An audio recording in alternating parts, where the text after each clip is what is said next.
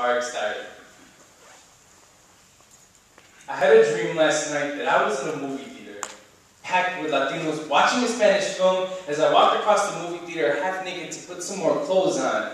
Yet, somehow in this path, I ended up in a room speaking to a woman about homosexuality and why Latinos should be more accepting of it.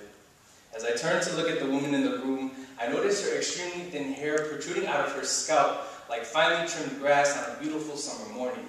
Her light pink bata with flowers covering her soft, delicate body as she firmly holds on to it.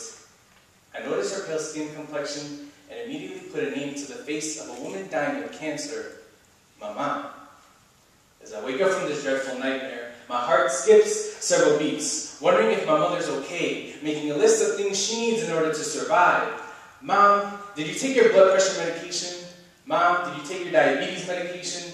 Mom, have you been taking all of your vitamins? Have you checked your blood pressure, your sugar? Have you made an appointment to get all of your allergy shots? And the list goes on. My mom doesn't have cancer, but she had two large tumors removed from her chest two years ago. My mom takes all her medications, but sometimes she forgets because she carries too many responsibilities on her plate. Mama is the family stone, but sometimes they forget she's just as soft-skinned as the rest of us. My mom always calls me when I'm away at school and never fails to say these five words in the end. Mijo, I love you. Cuídate. Take care. See, we're all mentally equipped to think that our parents are immortal. Mothers give birth to you, raise you, see you grow up, but when one of your parents is suffering, nothing can ever prepare you for the pain that ensues. Because every time my mother goes to her asthma specialist, she receives six shots.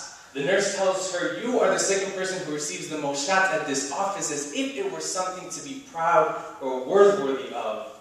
But the most rewarding gift she'll ever receive is the gift of life, along with dizziness, drowsiness, and numbness from all these injections. Doctors constantly calling the house as a big brother were harassing us about our private lives, making sure my mom schedules an appointment to get her eyes checked, get her blood checked, sending prescriptions to kitchen counter larger than the over-the-counter drug selection at our local Walgreens. Papa y hermano are mama's daily planner, and even then, she still forgets.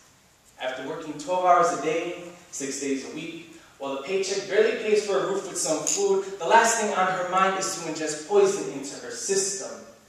Diagen, Ganymede, Nexium, Nasonex, Naproxen, Advair, Prednisone, just to name a few, all give her negative side effects.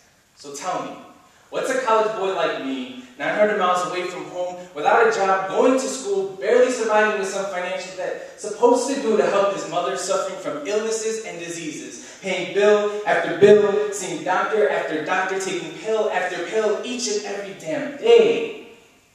I pick up the phone and call my mom, conversation with her about work, about her health,